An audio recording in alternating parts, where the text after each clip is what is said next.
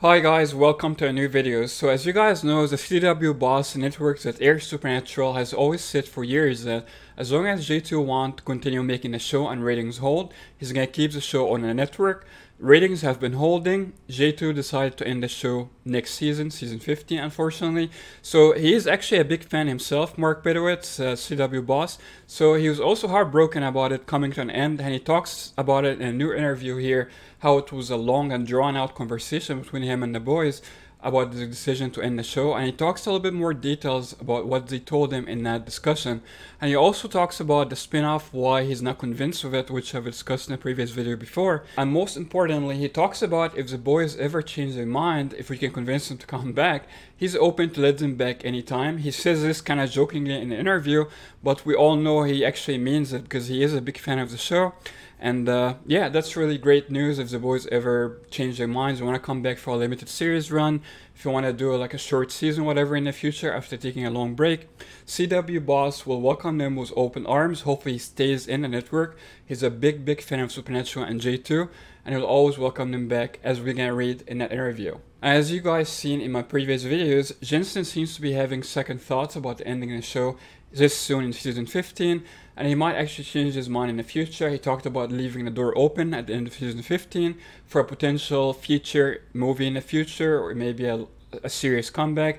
We're not sure exactly yet, but everything is open at this point after the series ends. We never know if they will come back at some point or not, but we do know is that they are kind of open to coming back based on the new interviews I discussed in my previous videos, from J2 particularly, from Jensen who seems to be regretting his decision to end the show the most. So it's good to know that CW boss is open for them if they ever change their mind. They can come back anytime and obviously we'll all be very happy with that.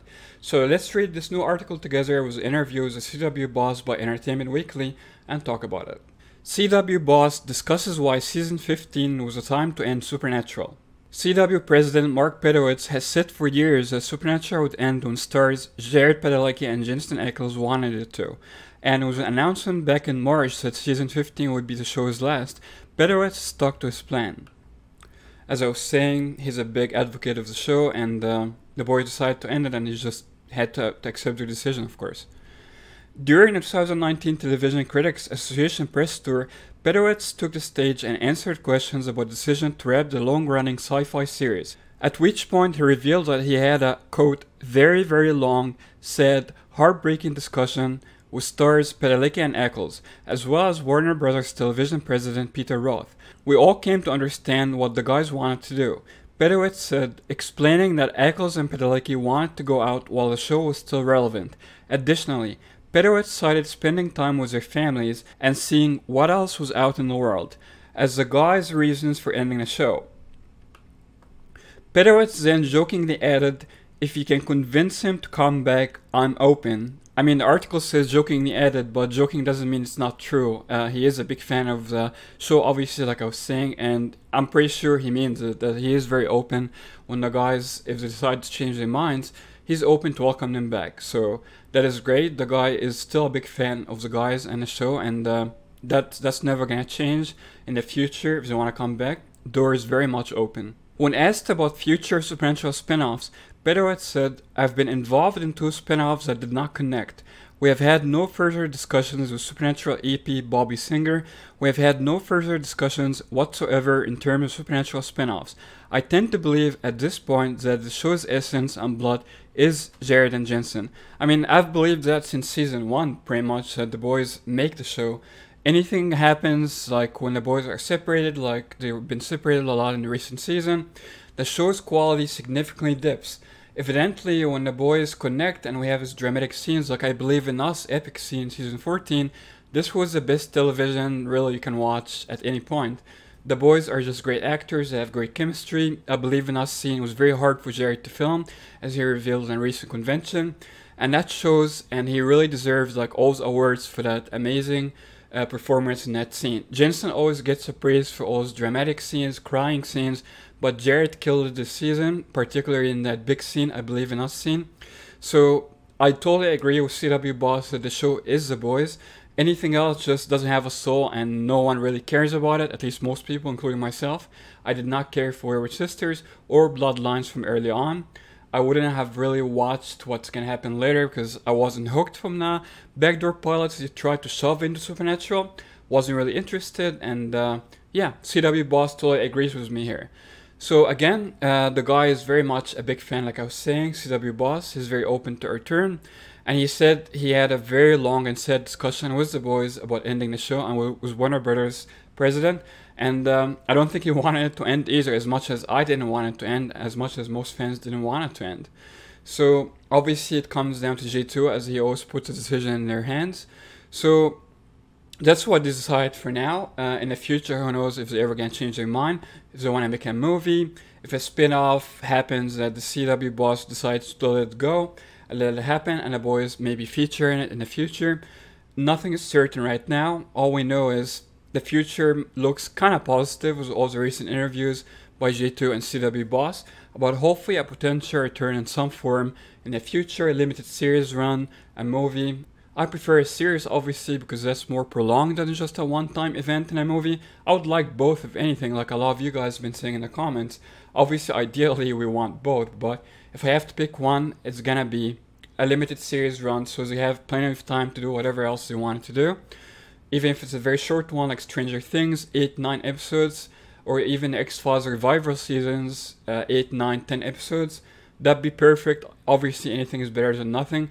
Ultimately, it is in the hands of J2. Whatever they want to do in the future, it's up to them. If they want to come back, obviously, we'll all be very happy with that, including the CW boss.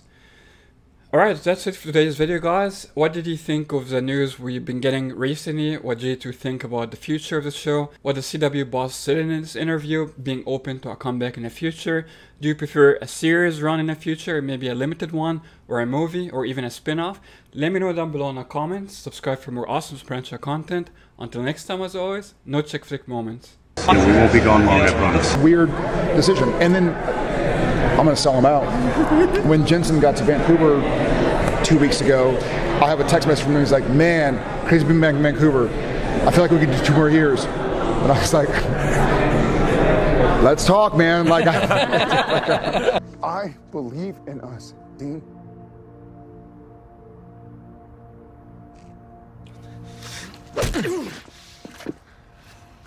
I believe in us. Hey, hey, hey, hey! Why don't you believe in us too?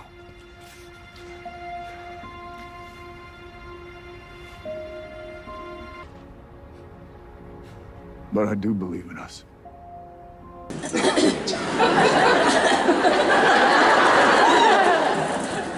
Hello. Uh, Hi, my name is Ashley. I hail from Pennsylvania. Hail. Hail from Pennsylvania. um, but my question was, um, what was it like filming that scene in Prophet and Loss, That scene at the end where you punched Ian in the face and then pulled up. 'cause I have to say that was a very, very, very powerful scene.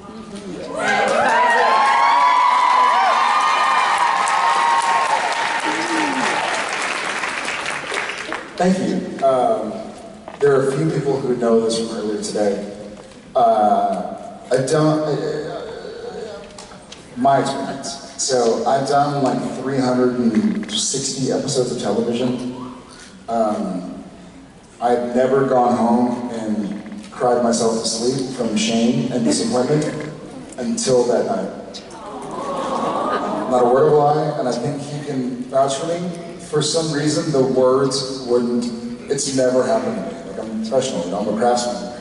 And I'm very proud of my professionalism. I like to mess around and have fun, but I've never had a moment where, literally, like, I can even tell, I've, I've worked with this guy for thousands of days, right? So, he's like, you good, man? You're good. Like, you got it, you got it. And I knew that I was kind of messing up. Um, Tom Wright, like I literally ran off set when the scene was over. I've never in my life not known, I've never in my life not been to, to Yeah, he, he couldn't, the words and the actions just weren't syncing up. And I, I again, like he said, I've, I've worked with this guy more than anyone in my life, and I've never seen a moment like this with him. I've seen it in other people, um, but Jared has never not been able to get the work done, and he couldn't he couldn't do it. Like something wasn't connecting in his brain. And so much so where I was like, did you take something? Did you take like, no, like, I mean, did you take some like whole medicine or did, did something you, you eat? Are you having a reaction? Like, it was that weird. And he couldn't, he couldn't make the connection to the words. And so we get into the scene, and it was supposed to be an emotional scene, obviously. And he wasn't able to, A, find the emotion, B, connect the words to the emotion, and then C, connect all that to the action that he was supposed to be doing, like the, the shoving me and stuff like that. And it was all just, and I just, I just watched him, and he was just spiraling. And I tried to grab him and be like, hey, hey, take, take it easy, you got this. What, like, what's happening? You're fine. Go walk it off. And, and nothing was happening. And at that point, I knew nothing that I could say was going to help this situation. It was just kind of like, it, it, whatever's going to happen is going to happen. And so everybody, even the crew, I walked back to the crew, and the crew's like, what's happening? Because he's like pacing, you know, in the parking lot, looking at his script and like trying to go over the line. I'm like, I don't know, whatever it is, just, you know, just let him, let him work through his process. Uh, you know, I was like, you know, are you, is something going on at home that I don't know about? And he's like, no, nothing, nothing is, he's like, I just can't do it. And it was awful for not just for him, but for everybody there to, to watch somebody who's so solid every day, day in and day out. The guy is a machine. Uh, again, never not able to do the work. And he just couldn't do it. Um, it was, I felt the same way I did when I saw Rob uh, in the hospital after a stroke and he couldn't speak. And it was just like, you you know he can, but just it couldn't it couldn't happen. It was just it was heartbreaking. Luckily, I think some of that frustration, or a lot of that frustration, made its way into the performance, and he finally put in an amazing performance. I thought that that hug.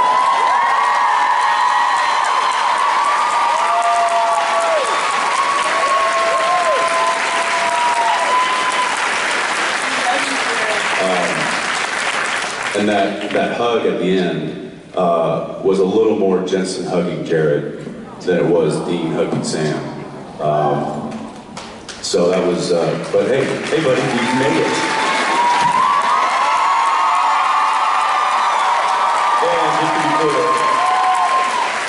It has never happened since. He's, I don't know, it was just a, it was just a fluke. It was a unicorn. Yeah. Yeah, thank you.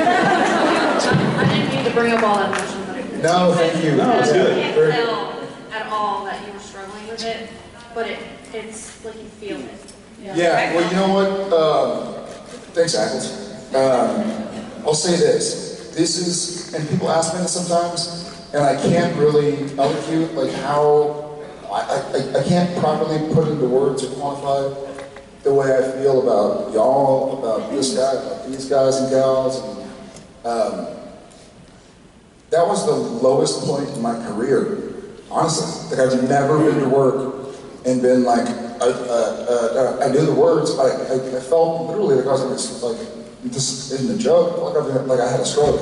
And the words wouldn't come out of my mouth. You did say, you remember saying this? You were like, this is like a bad dream I'm having. I'm, Absolutely. I'm, I'm living a bad dream right now. Absolutely. Yeah, it's like and then it was like, Yeah. okay, well we have four more hours to go to shoot this scene, and I'm like, I'm having a fucking nightmare, like in front of everybody, in front of the crew. They all want to go home. It's midnight. We have, like, we should wrap by 1 a.m., but I don't, I, I can't say my lines, so they're gonna be up till 3 a.m. or 4 a.m. waiting for me to do my job. Um, it's never happened before. Never, ever, ever, ever. And it's, it hasn't happened since. Um, it was a nightmare. But the, the, the sheer fact that you're coming up here for the first time since it's aired to compliment us on the scene is just a sign of why we are a family. You know, like this is why, this is why we come here. You know. And-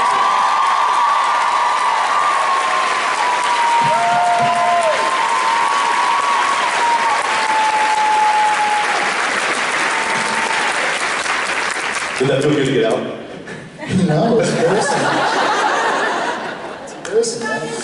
We got your back.